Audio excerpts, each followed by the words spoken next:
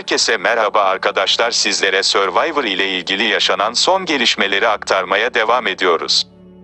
Survivor Barış ve Ogeday'ın ortalığı kan gölüne çeviren kavgası basına sızdı. Yağcı, hata yaptım demişti, perde arkası tüyler ürpertti.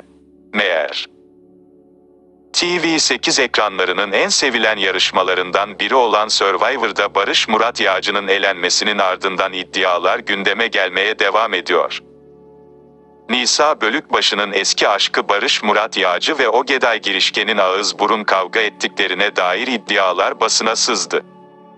Yağcı'nın elenmeden önce ben bir hata yaptım sözlerinin perde arkası tüyleri ürpertti. İşte merak edilen tüm detaylar. Acun Medya tarafından ekranlara gelen Survivor 2020 döneminin bitimiyle birlikte Barış Murat Yağcı ve Nisa Bölükbaşı arasında bir aşk başlamıştı. İkili, All Star'ın başlamasına aylar kala ayrılma kararı almıştı. Nisa Bölükbaşı ise aradığı aşkı Ogeday Girişken'de bulmuştu. Yağcı'nın elenmesinin ardından Ogeday Girişken'le skandal bir kavga ettikleri gündeme bomba gibi düştü. İşte merak edilen tüm detaylar. Sevilerek takip edilen Survivor All Star yarışmasından birkaç hafta önce ayrılan Barış Murat Yağcı, bunu bekliyordum çünkü çok büyük bir hata yaptım ve kimsenin kaldırabileceği bir hata değildi. Bence çok hayırlısı oldu, bir hata yaptım ve diğer Survivor yarışmaları için örnek olsun açıklamasında bulunmuştu.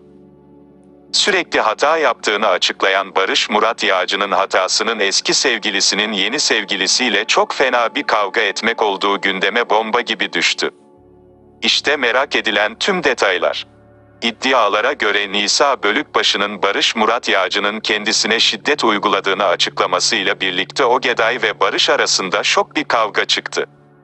İkilinin birbirine girdiği ve o anların kameralara yansımadığı iddia edildi. Nisa Bölükbaşı'nın bu durum karşısında sinirlerinin bozulduğu ve gözyaşlarına boğulduğu gündeme geldi.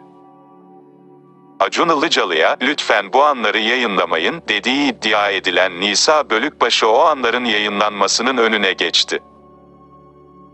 Barış Murat Yağcı ve Ogeday Girişken'in sert kavgasını ise iki takımın ve yapım ekibinin ayırdığı iddia edildi. Sizler Nisa Bölükbaşı, Ogeday Girişken ve Barış Murat Yağcı kavgası hakkında neler düşünüyorsunuz? Yorumlarınızı ve düşüncelerinizi bizlerle paylaşmayı unutmayınız.